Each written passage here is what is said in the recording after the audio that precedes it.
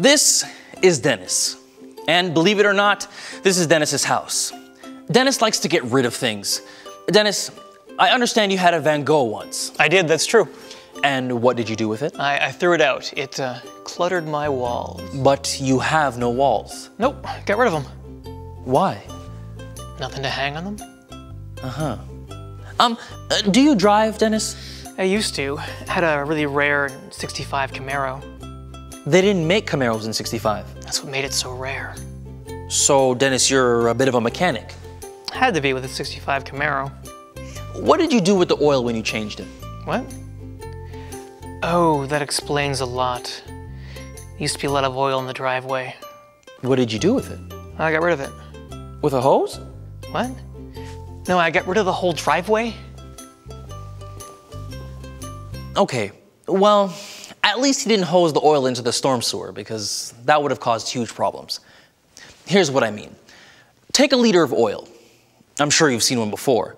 But do you know what happens when it's dumped into water? you probably don't want to. That's because just one liter of oil can actually contaminate one million liters of water. Hard to believe, isn't it? What's even harder to believe is that some gas stations, auto repair shops, even residents don't know or don't seem to care.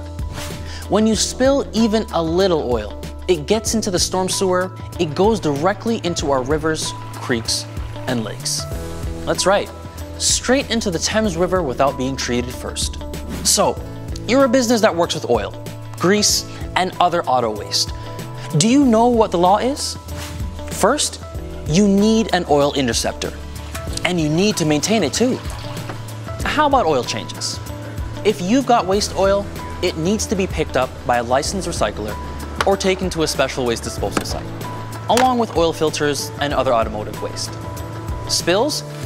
Don't use water. Use absorbent material or rags. Have a spill plan and make sure your employees know it.